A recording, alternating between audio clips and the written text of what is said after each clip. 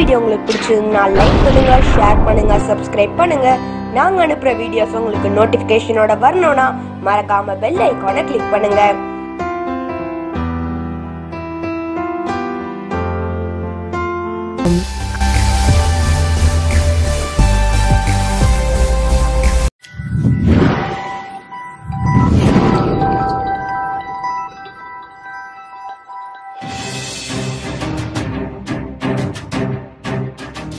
தந்தை மகன் தூய ஆவியாரின் பெயராலே ஆமேன்.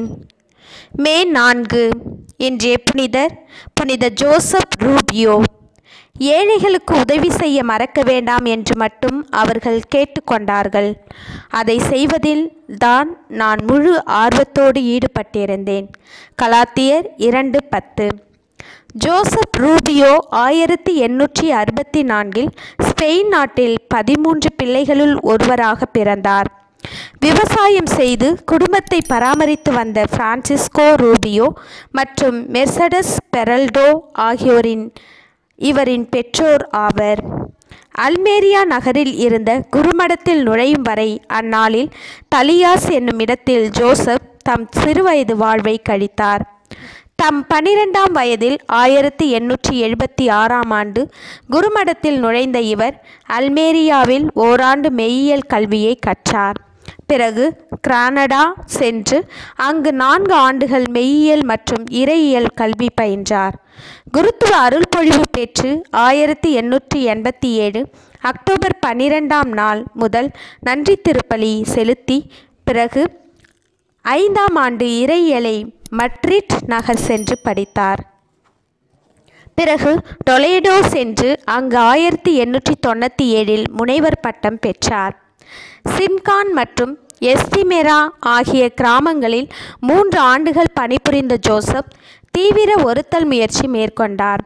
குழந்தைகளுக்கு மறைக்கல்வி ஏழைகளுக்கான பணி என்று தன்னையே இறையரசிற்காக கரைத்து கொண்டார். மட்ரிட்டில் உள்ள குருமடத்தில் லத்தீன் இலக்கியம் மற்றும் மேய்ப்பு பணி இறையியல் கற்பற்றி கற்பித்தார். புனித பூமிக்கும் ரோமைக்கும் ஆயிரத்தி தொள்ளாயிரத்தி நான்காம் ஆண்டு திருப்பயணம் மேற்கொண்ட ஜோசப்பின் மனதில் இறை திட்டம் வெளிப்படுத்தப்பட்டது. அதன்படி இயேசு சபையில் சேர்ந்து பணிபுரிய ஆயரிடம் அனுமதி வேண்டினார். அனுமதி கிடைத்ததும் இயேசு சபையில் ஜோஸ் சேர்ந்த ஜோசப் தமது நாற்பத்தி நான்காவது வயதில் முதல் வார்த்தைப்பாடு கொடுத்தார்.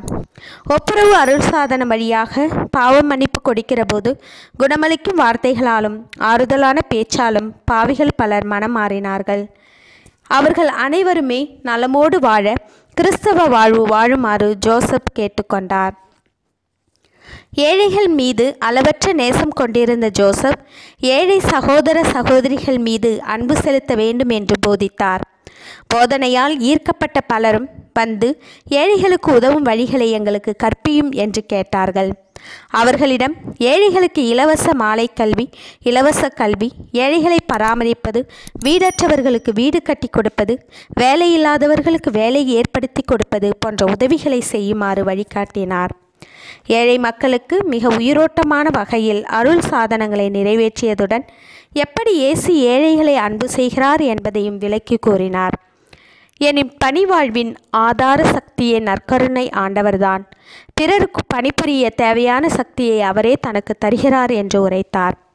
கடவுள் விரும்புவதை செய்யுங்கள் கடவுள் செய்வதை விரும்புங்கள் என்பதை தமது விருதுவாக்காக கொண்டிருந்தார். அருள் தந்தை ஜோசப் ஆயிரத்தி தொள்ளாயிரத்தி இருபத்தி ஒன்பது மே இரண்டாம் தேதி இறையடி இணைந்தார். தமது மக்களுக்கு சுற்றுமடல் எழுதிய மட்ரிட் பேராயர் லியோபோல்தே இ ஜோ கரே தமது ஜோசப் மட்ரிட்டிடம் திருத்தூதர் என்று குறிப்பிட்டார். புதுமைகள் பல புரியும் ஜோசப் ஆயிரத்தி தொள்ளாயிரத்தி எண்பத்தி ஐந்து அக்டோபர் ஆறு அன்று திருத்தந்தை இரண்டாம் யோவான் பவுல் அவர்களால் அருளாளராகவும் ரெண்டாயிரத்தி மூன்று மே நான்கு அன்று புனிதராகவும் உயர்த்தப்பட்டார். ஏழைகளின் வாழ்வு மேம்பட பல்வேறு வழிகளில் நாம் உதவி செய்யலாம் என்பதை உணர்ந்து செயல்படுபவர்கள் இறையாசிர் பெறுவார்கள். Jesus I trust in you. இயேசுவே உன் மீது நம்பிக்கை வைக்கின்றேன். ஆமேன். இந்த வீடியோ உங்களுக்கு பிடிச்சிருந்தா லைக் பண்ணுங்க ஷேர் பண்ணுங்க சப்ஸ்கிரைப் பண்ணுங்க.